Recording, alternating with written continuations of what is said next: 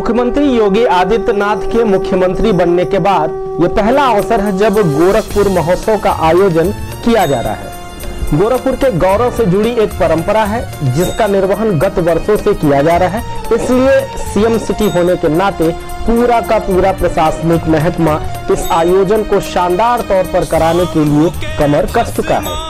चूँकि जब बात गोरखपुर महोत्सव की आ जाती है तो गोरखपुर न्यूज़ ने इसे अत्यंत महत्वपूर्ण मानते हुए इसके बारे में गोरखपुर के कमिश्नर और गोरखपुर महोत्सव के अध्यक्ष अनिल कुमार से एक विशेष बातचीत की। इस विशेष बातचीत के दौरान मंडलायुक्त ने गोरखपुर न्यूज़ संवाददाता को बताते हुए कहा, गोरखपुर महोत्सव है और सीएम सिटी के वजह से काफ़ी महत्वपूर्ण हो जाता है। पूरी ज़िम्मेदारी आपकी क्या क्या तैयारियाँ अभी तक हो गई? देखिए हमारी तैयारी लगभग पूरी हो गई है। और ये महोत्सव जो है, जैसे आप जानते हैं, ग्यारह तारीख से तेरह जनवरी अठारह के बीच में गोरखपुर विश्वविद्यालय में मुख्य रूप से आयोजित किया जाएगा।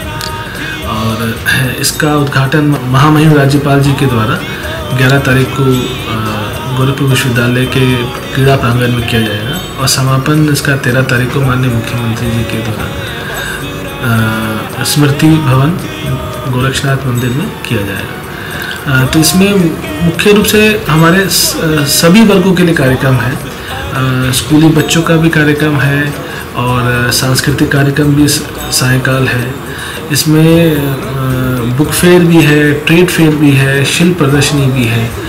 गोरखपुर के विकास को लेके मंथन भी होगा मंथन कार्यक्रम के अंतर्गत। 12 तारीख को स्वामी विवेकानंद जी पर एक नाटिका भी है तो इस तरीके से सभी वर्ग और सभी लोगों को जोड़ने का इस कार्यक्रम में प्रयास किया गया है। सर पहली बार इसमें शायद राइफल शूटिंग या इस तरह की कोई प्रतियोगिता का आयोजन करना हाँ। देखिए यूपी स्टेट राइफल एसोसिएशन के तत्वाधान में शूटिंग का कार्यक्रम जो है वो I R P S F ground के अंतर्गत किया जाएगा ग्यारह बारह को। और इसमें सभी इवेंट हम लोग टेकअप कर रहे हैं। और ये एक अच्छा कार्यक्रम इस बार होगा। सर स्थानीय कलाकारों के साथ भी आपकी बैठक हुई थी तो उसमें क्या हुआ कि वो उनके प्रतिभाग देखिए स्थानीय कलाकारों को भी हमने मुख्य मंच पर स्थान दिया है। और हर एक दिन हमारा लगभग डेढ़ घंटे का कार्यक्रम स्थानीय कलाकारों पर आधारित रहेगा। ग्यारह तारीख को और तेरह तारीख को सबरंग नाम से कार्यक्रम है और बारह तारीख को लोक रंग नाम से कार्यक्रम है। तो स्थानीय कलाकारों को भी हमने अपनी प्रस्तुति और अपनी कला का प्रदर्शन करने का मौका दिया और इसके साथ साथ पंद्रह, सोलह, सत्रह को जो शिल्प प्रदर्शनी में भी हमने एक छोटा मंच बना के वहाँ पे इनको कार्यक्रम का और मौका दिया गया। इस तरीके से प्रयास ये क्या है कि उनको भी इस कार्यक्रम में मुख्य रूप से जोड़ा जाए सर आपने शिल्प प्रदर्शन की बात की गोरखपुर टेराकोटा के लिए बहुत ज़्यादा लोकप्रिय है माना जाता है। इसके लिए वहाँ पे भी इस तरह के आयोजन उनके स्टॉल लगने की कोई बात है? हाँ शिल्प प्रदर्शनी हमारी लग रही है लगभग सत्तर स्टॉल लगेंगे उसमें टेराकोटा का भी हम लोगों ने आमंत्रित किया तो उनके स्टॉल भी लाएँगे। सर ये आयोजन में मुख्य तौर पे कौन आएँगे? मुख्य तौर पे देखिए इसमें 11 तारीख को इसका उद्घाटन माननीय महामहिम गवर्नर साहब के द्वारा किया जाएगा।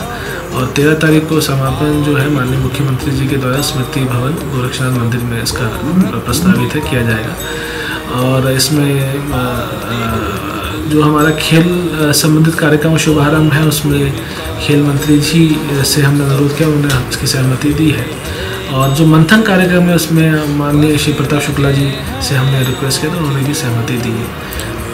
सर कोई सेलिब्रिटी भी कोई बड़ा सेलिब्रिटी आ रहा हाँ देखिए ग्यारह तारीख को शंकर महादेवन जी का कार्यक्रम है और तेरह तारीख को शान और भूमि त्रिवेदी जी और जिमी मोजेज और ललित पंडित जी का कार्यक्रम है और बारह तारीख को रवि किशन जी का कार्यक्रम है। सर इसमें किसी प्रकार की कोई टिकट या इस तरह की कोई व्यवस्था? मुख्य कार्यक्रम में कोई टिकट नहीं लेकिन हम लोग निमंत्रण पत्र भेजेंगे उसी आधार पर इसका।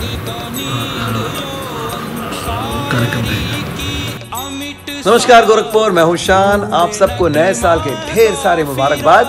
और एक और बात, मैं खुद आ रहा हूँ for the first time Gorakhpur. आप सबसे मिलने, आपके साथ बहुत सारे गाने, झूमने, नाचने।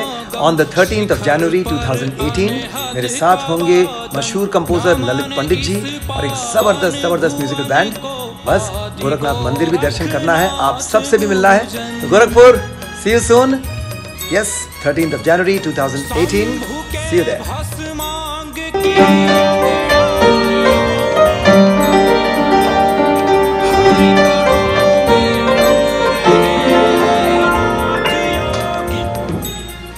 भाई बहनों को मेरा नमस्कार मैं हूँ जतिन ललित में से ललित पंडित और मैं आपके शहर गोरखपुर आ रहा हूँ तेरह जनवरी अगले साल और मेरे साथ होंगे बॉलीवुड के मशहूर सिंगर शान अनुराधा पोडवाल जी, भूमि त्रिवेदी, जिमी मोजूद और बॉलीवुड का बेहतरीन ऑर्केस्ट्रा और म्यूजिशियन हम सब साथ में होंगे और गोरखनाथ के हम दर्शन भी करेंगे और आप सबसे तेरह की शाम को ज़रूर मिलेंगे। हम सब वहाँ परफॉर्मेंस के लिए आ रहे हैं तेरह को गोरखपुर गोरखपुर महोत्सव में। और मैं चाहूँगा कि आप सब ज़रूर वहाँ पे आए बड़ी संख्या में और उस शाम को एक रंगीन शाम और एक मेमोरेबल इवनिंग बनाए। थैंक यू बस रहे हैं नाथ योगी, रंग रहे हैं नाथ योगी, बस रहे हैं नाथ योगी।